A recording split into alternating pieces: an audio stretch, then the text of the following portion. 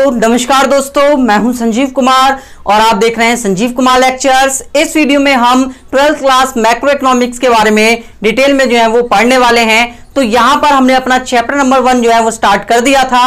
ये chapter number one की जो है वो दूसरी वीडियो है। यहाँ पर हम कुछ गुड्स के बारे में बात करेंगे।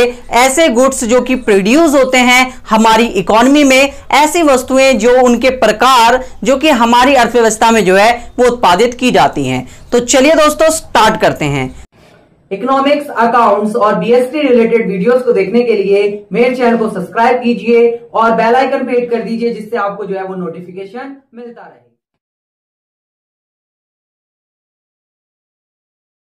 तो यहाँ पर हमारे पास सबसे पहले दो टाइप के गुड्स आते हैं जो कि हम इकोनॉमी में प्रोड्यूस करते हैं और भी अलग अलग टाइप के गुड्स हैं, वो आपको मैं अभी डिटेल में बताऊँगा।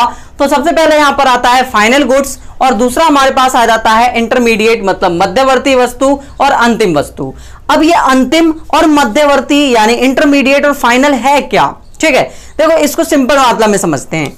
मान लीजिए, एक प्रोड्यूसर है जो कि क्या करता है वुड को लेकर आता है। वुड मतलब कि जो यहाँ पर लकड़ी आती है ठीक है? उस लकड़ी से वो क्या करता है? कुछ बना भी सकता है। ठीक है प्रोड्यूसर जब वो प्रोड्यूसर जो है, वो इस लकड़ी को कुछ बनाने के लिए लेकर आया। मतलब कि वो ये चाहता है कि मैं इससे टेबल बनाऊँगा और बेचूँगा। मैं इससे चेयर बनाऊँगा, कुर्सी बनाऊँगा और बेच दूँगा इन्हें। ठीक है? तो ये गुड्स क्या कहलाएगा? इंटरमीडिएट गुड्स कहलाएगा। क्यों कहलाएगा? जरा समझते हैं। मतलब कि कोई सा भी ऐसा गुड्स जिसे हम किसी वैल्यू एडिशन के लिए लाया जाता है। किसके लिए? वैल्यू एडिशन वैल्यू एडिशन का मतलब क्या होता है? कि हम उसे खरीद के लेकर आए दस हज़ार रुपए में, लेकिन हम कुछ भी इसके कुछ मैन्युफैक्चर करके, कुछ अलग इसका टाइप बनाकर, हम इसमें कुछ वैल्यू को ऐड करके पाँच हज़ार और इसे पंद्रह हज़ार रुपए में जो है वो री सेल करने वाले हैं। मतलब रीसेल मतलब इसे हम दोबारा बेचने वाले हैं। उसने हमें बेचा, हम खरीद के लेकर आए और इसे हमने खरीदा भी इसलिए क्योंकि हम इसे दोबारा से बेच सकें। ठीक है फ्रेंड्स तो यहाँ पर ये गुड्स जो है, वो इंटरमीडिएट गुड्स कहलाता है। ठीक है? अब अगर मैं बात करता हूँ कि वो ये लकड़ी, कोई भी व्यक्ति है यहाँ पर प्रोड्यूसर मैं कह रहा हूँ कि यहाँ पर एक ए व्यक्ति है, वो अपने लिए क्या करता है? एक ब्रेड का जो है, वो पैकेट लेकर आता है। ठीक है? ब्रेड पैक लेकर आता है, जहाँ पर उस ब्रेड को जो है, वो कंज्यूम करता है। ठीक है? खुद कंज्यूम करता है अपना पेट भरने के लिए। तो ये ब्रेड का पैकेट जो है, ये गुड्स है। ये गुड्स कैसा गुड्स कहलाएगा? फाइनल गुड्स कहलाएगा। लेकिन, ये अगर अगर ये व्यक्ति, ये जो है, वो ब्रेड का पैकेट लेकर आता उसे कंज्यूम ना करके उसको जो है वो क्या करता, एक ब्रेड पकौड़े की शेप में जो है वो बना देता और अगर उससे कुछ इनकम कमाने की कोशिश करता। मतलब कि इस ब्रेड को लेकर आया, इससे ब्रेड पकौड़ा बनाने के लिए और उसको जो है वो क्या करेगा, आगे जाकर सेल कर देगा। एक सैंडविच बनाने के लिए। ब्रेड का उसने सैंडविच बनाया और सैंडविच बनाकर जो है वो मार्केट में सेल कर दिया। तो ये गुड्स जो ब्रेड का पैकेट था, ये उसके लिए अब फाइनल गुड्स नहीं रह जाएगा। अब उसके लिए गुड्स कैसा बन जाएगा? इंटरमीडिएट गुड्स बन जाएगा। मतलब कि ऐसा गुड्स जो कि हम रीसेल के लिए या फिर कोई भी गुड्स जो हम जो है, वो किसी वैल्यू एडिशन के लिए रीसेल के लिए या उससे कुछ बनाकर बेचने के लिए लाते हैं तो वो इंटरमीडिएट गुड कहलाता है। और ऐसा कोई गुड्स जो हम अपने कंजम्पशन के लिए लेकर आते हैं, ठीक है, वो हमारे लिए फाइनल गुड कहलाता है। अब अगर मैं आपको और बताऊँ अच्छे से तो फाइनल गुड्स वो गुड्स है जिसे किसी फाइनल प्रयोग करता मतलब जो फाइनल यूज़र है उसका उसके द्वारा कंज्यूम या यूज़ किया जाता है, वो फाइनल गुड कहलाता है। ठीक है? जैसे इस ब्रेड का पैकेट ए के द्वारा फाइनली यूज़ किया जा रहा था, और कोई नहीं था मतलब कि ये और किसी को नहीं देने वाला था। तो ब्रेड का पैकेट इसके लिए कैसा गुड्स कहलाएगा? फाइनल गुड्स कहलाएगा। ठीक है? यहाँ पर दो टाइप है हमारे पास। सबसे पहला टाइप है हमारे पास कंज्यूमर फाइनल गुड्स और दूसरा है प्रोड्यूसर फाइनल गुड्स मतलब कि कंज्यूमर अभी हमने बात करा, एक कंज्यूमर है जिसने एक ब्रेड का पैकेट लिया और खुद कंज्यूम कर लिया। और अगर खुद कंज्यूम कर लिया तो ये फाइनल गुड्स होगा। कैसा फाइनल गुड्स होगा? फाइनल कंज्यूमर गुड्स होगा। अंतिम उपभोग वस्तु होगी। ठीक है फ्रेंड समझ में आया होगा आपको यहाँ तक? अब हमारे पास फाइनल प्रोड्यूसर गुड्स कौन सा होता है?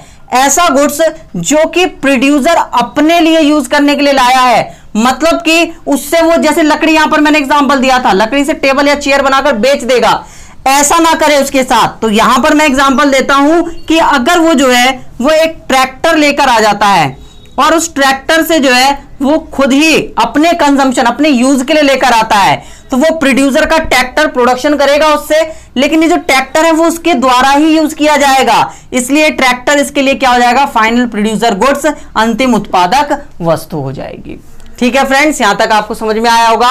और इंटरमीडिएट गुड्स क्या है? जब उस गुड्स का जो है वो वैल्यू एडिशन मैं क्या लिख सकता हूँ? वैल्यू एडिशन किया जाए, ठीक है? उसको रीसेल किया जाए, दूसरा पॉइंट हम कह सकते हैं, उसको रीसेल ऑब्जेक्टिव से लिया जाए, ठीक है?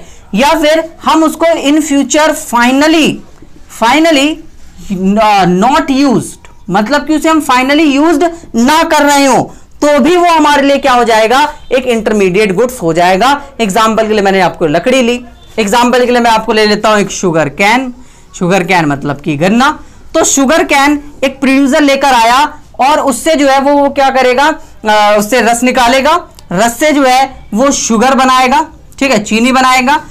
वो गन्ने लेकर आया मान लो पाँच हज़ार रुपए के. उसने प्रोसेसिंग में डाला और पाँच हज़ार रुपए और लगाकर उस गन्ने को उसने जो है वो दस हज़ार रुपए में जो है वो सेल कर दिया. मतलब कि पाँच हज़ार का गुड्स पाँच हज़ार रुपए और एक्स्ट्रा उसमें बेचकर, वो उसमें लगाकर, उसने जो है वो दस हज़ार का गुड्स क्या कर दिया? तैयार कर दिया। मार्केट में ये जो है वो दस हज़ार का गुड्स बेचेगा इस गुड्स को। तो यहाँ पर ये गुड्स जो है वो पाँच हज़ार हमारे लिए एक इंटरमीडिएट गुड्स कहलाएगा।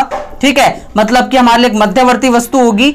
ये हमारे लिए वैल्यू एडिशन होगा। मतलब कि मूल्य वृद्धि होगी। क्योंकि इसमें क्या कहा गया है? पाँच हज़ार का वैल्यू ऐड की गई है। तो ये एक वैल्यू एडिशन हो जाएगा। और ये जो दस हज़ार फाइनल हमारे पास निकल कर आया ये किसी ना किसी द्वारा फाइनली यूज़ किया जाएगा तो ये एक फाइनल गुड्स होगा, ठीक है? जो कि फाइनली सेल किया जाएगा प्रोड्यूसर के द्वारा, और ये एक फाइनल गुड जो है, वो बन जाएगा। क्लियर फ्रेंड्स यहाँ तक आपको समझ में आया होगा अच्छे तरीके से कि हमारे पास इंटरमीडिएट गुड्स और फाइनल गुड्स जो है, वो क्या होते हैं? हमारे पास final consumer goods final producer goods क्या होते हैं? इनको डिटेल में हमने जो है, वो इस वीडियो में पढ़ा है। ठीक है फ्रेंड्स अब हमारे पास कुछ और टाइप की वीडियो होती हैं, आप इससे गुड्स होते हैं। मैं जो है वो अभी इसी वीडियो में आपको बताऊँगा तो आप इसे पहले नोट कर लीजिए, फिर मैं आपको उसके बारे में बताता हूँ, ठीक है? तो पॉज करिए वीडियो को और नोट कर लीजिए। अब हम जो है वो कुछ और टाइप के गुड्स के बारे में देखते हैं। तो सबसे पहला होता है हमारा कंज्यूमर या कंजम्पशन गुड्स मतलब कि उपभोक्ता और उपभोग वस्तुएँ, और दूसरा हमारे पास पूंजीगत वस्तुएँ मतलब कैपिटल गुड्स होते हैं। तो सबसे पहले हम स्टार्ट करते हैं कंजम्पशन कंज्यूमर गुड्स से। तो कंज्यूमर गुड्स या कंजम्पशन गुड्स वो गुड्स होते हैं जिन्हें कंज्यूमर उपभोक्ता को द्वारा जो है वो कंज्यूम किया जाता है, उपभोग किया जाता है। ठीक है? वो भौतिक भी हो सकता है मतलब फ़िज़िकल भी हो सकता है और नॉन फ़िज़िकल भी हो सकता है। तो यहाँ पर भौतिक और अभौतिक का मतलब यह है कि ऐसे वस्तु भी हो सकते हैं जिसे हम देख भी सकते हैं और छू भी सकते हैं और सेवाएँ। एक तरीके की ऐसा कंजम्पशन गुड्स है जिसे हम देख नहीं सकते, ना ही छू सकते हैं, बस उसे हम क्या कर सकते हैं फील कर सकते हैं। तो वो भी एक तरीके का कंजम्पशन गुड्स है और हमारा कंज्यूमर गुड्स भी है। क्लियर तो यहाँ पर चार टाइप के गुड्स हमारे पास दिए हुए हैं। सबसे पहला है ड्यूरेबल गुड्स मतलब कि टिकाऊ वस्तु। तो टिकाऊ वस्तु वो वस्तु है जो कि लंबे समय तक टिकती है। मान लो दो साल, तीन साल, चार साल तक टिक जाती है। जैसे हमने जो है एक बाइक खरीद ली। बाइक आराम से हमारे पास चार से चार साल तक, दो साल तक टिक जाता है। मान लेते हैं मिनिमम ठीक है? एक स्कूटर खरीद लिया मैंने, वो स्कूटर भी टिक जाएगा, ठीक है? मैंने कोई टेलीविज़न खरीद लिया, वो टेलीविज़न भी चार से पाँच साल या फिर हम कह सकते हैं दो साल तक तो टिक ही जाएगा। तो ऐसे गुड्स जो ड्यूरेबल हैं, लंबे समय तक चलते हैं, टिकाऊ वस्तुएँ ड्यूरेबल गुड्स कहलाते हैं। ऐसे गुड्स जो सेमी ड्यूरेबल मतलब कि जो कम चलते हैं। जैसे कि एग्ज़ाम्पल के तौर पर हम कह सकते हैं किसी भी इलेक्ट्रॉनिक सामान का एग्ज़ाम्पल दे सकते हैं। कपड़ों का एग्ज़ाम्पल दे सकते हैं, एक साल से पहले पहले खराब कर देते हैं, जूतों का एग्ज़ाम्पल दे सकते हैं हम, जो भी हम एक साल से पहले पहले बदल लेते हैं। तो ये ऐसे गुड्स हैं जो सेमी ड्यूरेबल हैं मतलब चलते तो हैं, लेकिन कम चलते हैं। ये पाँच से छह महीने, दस महीने, बस इससे ज़्यादा जो है वो नहीं चलते, इसलिए जो है वो अर्ध टिकाऊ वस्तुएँ सेमी ड्यूरेबल गुड्स कहलाते हैं। नेक्स्ट आता है हमारे पास non material non durable goods मतलब कि हमारे पास ऐसे गुड्स जो कि ड्यूरेबल नहीं है मतलब चलेंगे नहीं। जैसे अगर मैंने एक फ्रूट्स खरीद के लेके आया तो फ्रूट्स भी एक गुड्स है, लेकिन ऐसा गुड्स है जो चलेगा नहीं लंबे समय तक। दो दिन में खत्म हो जाएगा, एक दिन में खत्म हो जाएगा, ठीक है? वेजिटेबल लेकर आ गया मैं मिल्क लेकर आ गया मैं तो एक तरीके के ऐसे गुड्स हैं जो लंबे समय तक नहीं चलने वाले, खत्म हो जाएँगे एक दो दिन में। तो ये हमारे पास कहलाते हैं नॉन ड्यूरेबल गुड्स यानी कि हमारे पास गैर टिकाऊ वस्तुएँ जो कि आगे लंबे समय तक नहीं चलेंगी। ठीक है फ्रेंड्स इसके बाद आता है नॉन मटेरियल गुड्स या सर्विसेज़ भौतिक, अभौतिक वस्तुएँ। जो अभी मैंने बताया था ना, ऐसे गुड्स जिन्हें हम देख भी नहीं सकते, छू भी नहीं सकते। मतलब कि सेवाएँ सर्विसेज़ मान लो मैं टीचर हूँ, आप टीचर की सर्विसेज़ ले रहे हैं स्कूल में लेते होंगे। तो सर्विसेज़ भी तो गुड्स है, लेकिन वो एक ऐसा गुड्स है, ना ही उसे आप देख सकते हैं, ना ही छू सकते हैं। वो एक जो है, वो नॉन मटेरियल गुड्स है। ठीक है मटेरियल का नहीं बना हुआ है किसी भी टाइप का। बस वो गुड्स जो है वो कंज्यूम किया जाता है कंज्यूमर्स के द्वारा। क्लियर फ्रेंड्स यहाँ तक आपको समझ में आया होगा। इसके बाद आता है हमारे पास कैपिटल गुड्स तो कैपिटल गुड्स बेसिकली वो गुड्स होते हैं जो प्रोडक्टिविटी के काम आते हैं। मतलब कि हमारे पास उत्पादन प्रोडक्शन के काम आएँगे। मान लो मैंने जो है, वो एक मशीन खरीद ली। उस मशीन से मैं क्या कर रहा हूँ यहाँ पर? एक मशीन है लंबे समय तक चलेगी, बहुत लंबे समय तक चलेगी। उस पर क्या होगा? डेप्रिशिएशन लगेगा। डेप्रिशिएशन का मतलब होता है घिसावट।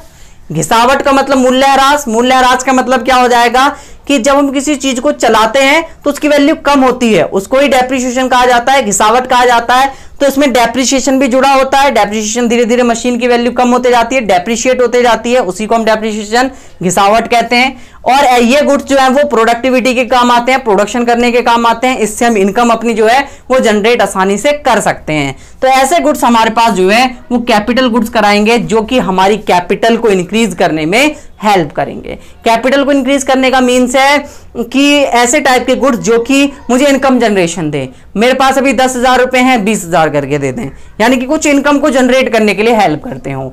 ठीक है फ्रेंड्स यहाँ तक मैंने आपको पूरे के पूरे इकोनॉमिक सिस्टम में जितने भी गुड्स आते हैं, उनके टाइप्स मैंने आपको कुछ बताने की कोशिश करी है। आपको जो है वो समझ में आए होंगे। काफ़ी इंपॉर्टेंट टॉपिक है नेशनल इनकम को कैलकुलेट करने के लिए और माइक्रो इकोनॉमिक्स के कुछ पॉइंट्स को बेसिक पॉइंट्स को समझने के लिए। तो आशा करता हूँ वीडियो आपको अच्छी लगी होगी और अगर बहुत ज़्यादा अच्छी लगी तो वीडियो को लाइक ज़रूर करें। कमेंट करके बिना मत जाएँ। कमेंट करके मुझे बताएँ आपको वीडियो कैसी लगी। और अगर आप एक नए व्यूअर हैं मेरे चैनल पर तो मेरी वीडियो को पूरा देखा है आपने। और यहाँ पर अगर आपको वीडियो अच्छी लगी है, क्योंकि अभी तक आप वीडियो को देख रहे हैं तो आपको वीडियो अच्छी लगी होगी। इसलिए मेरे चैनल को सब्सक्राइब कर दें, क्योंकि इसी टाइप की वीडियो जो है, वो मैं आपके लिए बनाता रहता हूँ। ट्वेल्थ के इकोनॉमिक्स की वीडियो मैंने आपके लिए पूरी बना दी है, अगर आप ट्वेल्थ के स्टूडेंट्स हैं, और यहाँ पर मैं जो है, वो अगर आप यूपीएससी के स्टूडेंट्स हैं एसएससी के स्टूडेंट्स हैं, और अगर और भी अगर कंपिटेटिव एग्ज़ाम्स की तैयारी कर रहे हैं तो उनके लिए वीडियोस जो है, वो मैं धीरे धीरे इकोनॉमिक्स की बनाना स्टार्ट कर रहा हूँ, और वीडियोस आपके लिए आ रही हैं। तो यहाँ पर मेरे चैनल को आप साथ बने रहिए, सब्सक्राइब कर लीजिए, क्योंकि इसी टाइप की वीडियोस आपको देखने को मिलती रहती है। तो अपने दोस्तों के साथ इस वीडियो को शेयर करना बिल्कुल ना भूलें, क्योंकि शेयर करने से मुझे भी थोड़ी हेल्प होगी और आपको भी कुछ ना कुछ हेल्प हो ही जाएगी आने वाले फ्यूचर में। तो चलिए दोस्तों वीडियो देखने के लिए थैंक यू नेक्स्ट वीडियो में ज़रूर मिलते हैं।